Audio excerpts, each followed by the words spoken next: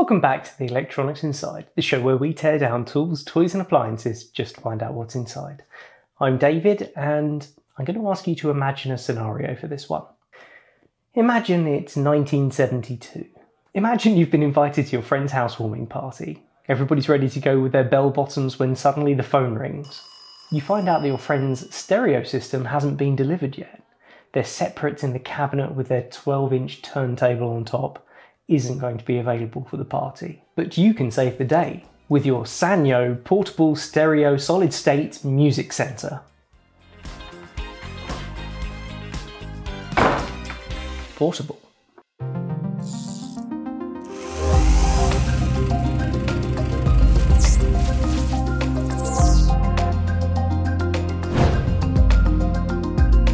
So the Sanyo Portable Music Center features stereo speakers built into the lid, turntable, which may have seen better days, featuring 33, 45, and 78 RPM record player, a stereo tuner, and a cassette deck. What could you want? Okay, I might slightly sound like I'm poking fun at this, but I saw one of these featured on Techmoan a few months ago and just instantly went, that's the coolest thing I've ever seen. If somebody did something like this today with a huge battery bank, a huge hard drive, and some great speakers for a portable music kit you could take to a park or to the beach or something, I think a lot more people would be interested than would care to admit it. This is what you got in 1972, and I don't think this was the only or even the first model of these. I think there had been several previous to this and they are great actually. You could quite comfortably use this with the speakers that separate and actually come on little fly leads. You could have this set up at home and just be your all-in-one stereo system without too much trouble. Albeit, I don't feel like these are going to be great speakers.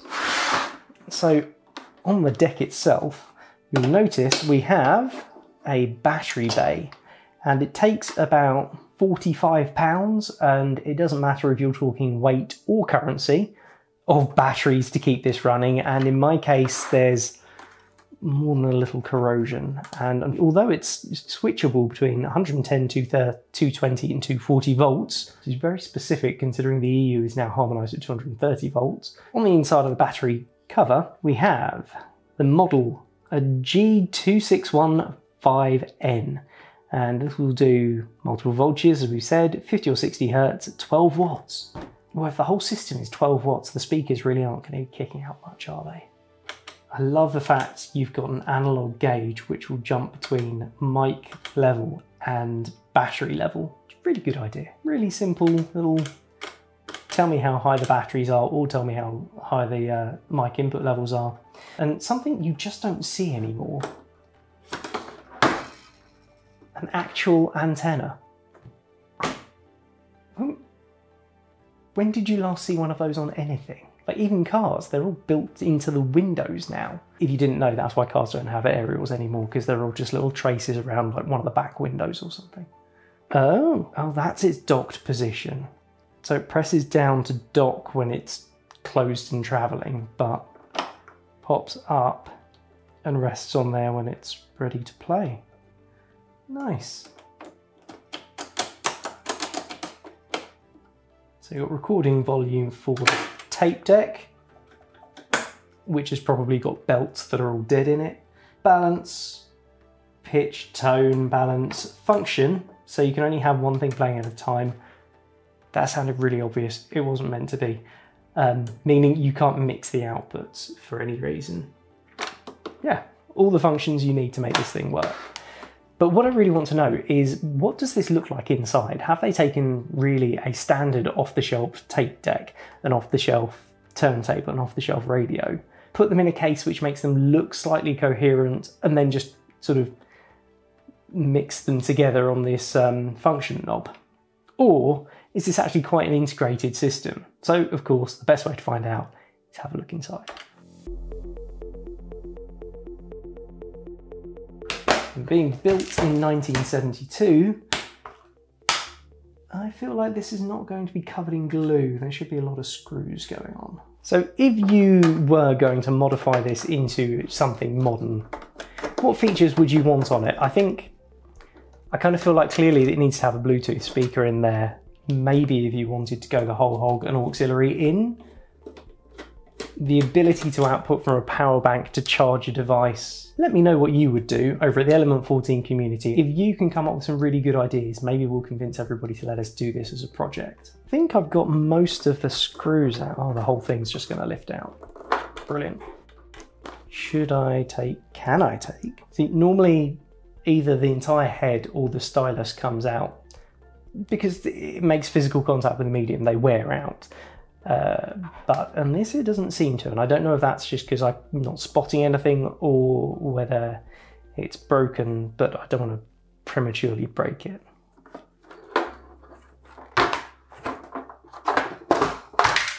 Um, nice. So that's just, just one big empty case. So this is the back of the tuner, the radio receiver. This is the back of the tape deck, and this is the turntable and the batteries. What? I thought there were only three deep. You mean you've got to put like. Oh, wow, that's a lot of batteries. And this fell off the turntable too. Wow. That right there, I'm going to guess is the function knob. So that is just a really big stacked multi-pin selector. There's only three positions on this, radio, tape and turntable. But look at the number of connectors going in and out of this thing. Wow, what a nightmare. I am interested by the turntable though, because it doesn't appear to have any belts. Does that mean it's direct drive? But then I don't know what this is. Oh. The speed selector's manual it's like changing gears to change the record speed. The motor runs at a constant speed, and then there's different sort of intermediate rollers or cogs or something that changes the speed of the turntable. Okay, anyway, let's think about this sensibly. Oh dear, I'm pretty sure that's not supposed to be broken. Sorry to say, the radio ferrite core here has seen better days. When I say seen better days, it's also been in fewer pieces. Right, so what we can say for sure at this point, AC input, voltage selector. So feeling quite comfortable that can come out. I have a feeling the transformer's on nuts and they're spinning. So I'm gonna have to leave that until I can come back after I've got the turntable, at least the cover off. Take that spring off the center of the turntable. Hey, it's interesting this turntables actually metallic and quite heavy. I think they were probably using that as a, like a flywheel to maintain the speed constantly. It's not going to give you accuracy at hitting that 33, 45, and 78 RPM speed, but it will at least stay relatively constant, meaning the music's not going to flutter all over the place and the pitch is going to warble up and down. Oh, that's cool. So the speed selector has got the three positions at sort of the 12, 4 and 8 positions. Uh, and in between, it's got these little blank notches and each one of these notches is like a standby position. And then as it moves up and down, this rubber wheel makes contact with a different diameter section of this post here.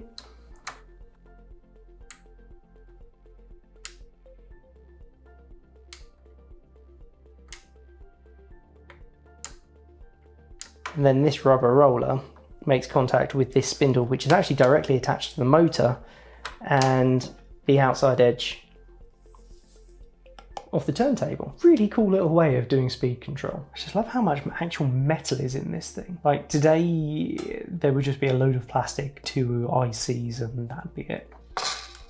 Ooh, okay. So this bit here is the bottom of the tone arm the bit that swings out and has the needle in it for the records. And it only has two cores. It doesn't even have anything attached to the metal post. And that tells me the record player is only mono. So although it's got stereo plastered all over this, it will only play records in mono. Don't be fooled, people. So this big goofy looking thing here is uh, an auto stop. So when this big flappy paddle on the tone arm swings round, it will automatically open and stop the turntable running. So really simple, really cheap mechanical switch there. I'm so upset about this ferrite core. Has anybody got any good advice on how I might be able to repair that? I suppose it only needs to be magnetically coupled. It doesn't need to be electron like conductive. So maybe I could just glue that and it would be good enough. I don't know. Let me know in the comments. Okay, so there is a grounding screw in the corner here. I mean, designing something like this where the parts are all um, kind of together but kind of separate. I mean, they've got electrical interfaces which should mean they're galvanically isolated at the output side, but they're pretty much always going to be powered together because the functions, or maybe it does switch the power on the various functions. It'd be a great way of extending battery life. So maybe this switch is not just switching the audio outputs, it's also switching the power output or input too. That'd be interesting. so there's a little capacitor here between the sort of rail that all the switches mount onto. Going to the side of this on the cassette player, and you just see it's got this really long leg and a huge blob of solder on the side here. Like, I know soldering onto steel is hard, but pretty sure I could have done it quicker and easier than that. So you see on here, the tuning actually moves this needle Okay, so obviously the actual tuning is done by a potentiometer or something electrical, but making that needle move in a completely linear fashion from rotational input is actually kind of hard because if you think of the, the the most immediate thing that comes to mind is normally like a linkage if you imagine like a, a rotating drum with a fixed point on it and a arm that sort of pivots and follows but that means the movement of that linear item is not linear the movement is sinusoidal. So it will move less towards the end of the stroke for the same amount of rotation and more at the middle of the stroke for the same amount of rotation. Wow, I hope that makes sense. Um, but that means that these needles that need to move linearly for every turn all the way along, otherwise these the, the markings on the dial would be well, there would be a consequence of a sinusoidal wave. And what you tend to find, or find in a lot of devices, certainly of this age, is what I think we're going to find in here, but I don't have a good way of getting it out yet. So aside from, again, this gorgeous hand layout of traces from the era, which I, I still find charming, frankly, we have the dial that sits roughly there. And you can see as I move this, I get a linear motion of that dial moving up and down.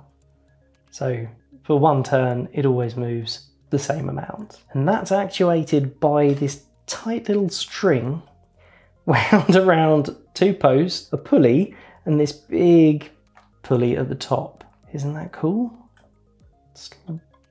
Titan string. And this is what actually changes the potentiometer at the center of this pulley that's altering the um, the tuning. Actually, if we turn this over, we should see that right at the center here. So it's not potentiometer, is it? It's a variable variable oscillator. Is that right? Derek would be so disappointed in me. Sorry, Derek. So at the moment, this is coming out as one large chunk. And even the physical size of this makes me think it's a module from another device. I feel like this is me showing my age quite considerably. See, I can remember at school um, we did a certain type of uh, maths teaching where it was all individual learning, and you would do some cards which had certain questions in them or a set of a topic that you would have to learn about and then do some sums at the end to test yourself. And you could learn at your own rate.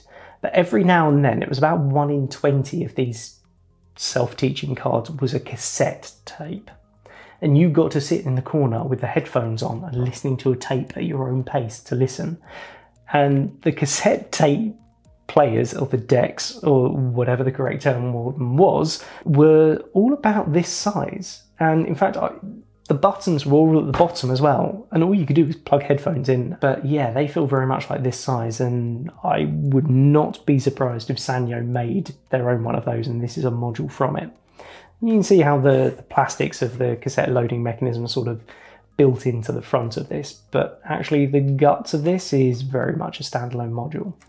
It has got an awful lot more wiring coming and going from it, which is understandable because actually it's not just got power and playback, this has got record as well. So this has got to be able to take a signal from either the radio or the turntable to record this onto cassette. So more wiring makes sense. So just spent a little bit of time sort of poking around and digging about in here, just trying to understand exactly what some of these ancillary PCBs actually do. I mean, this big board with the heatsink, clearly the amplifier, it's a stereo amplifier. You can see each channel is separately amplified and then, yeah, that makes perfect sense. And let's just leave it at that for now. And that provides outputs for the speakers, albeit very poor 12 watt total consumption. It's not great amplification. I was a little bit confused by this daughter board here. Uh, it appears to take have a couple of leads which go up to this mixing selector but the giveaway is this light blue lead which runs down here to the microphone inputs. So this is kind of a microphone preamp. Again, a little bit like um, I was saying earlier for the needle or the stylus on the record player. Microphones can give really low level inputs depending on what type they are. They aren't the same as a line input, so they need preamplification to get them to the same level as what will be the tape deck, the radio, that kind of stuff. And then that can feed into the tape deck for recording at the same level as the radio would. Makes sense, fair enough. So I was a little bit confused why the stylus, the, the raw input from the vinyl, comes all the way into this board, because this is the input board that has the multi-tapping AC and the battery supply coming in. But what they're doing on this board is they're actually giving it a slight amplification boost, but they're also splitting the signal into faux stereo at this point.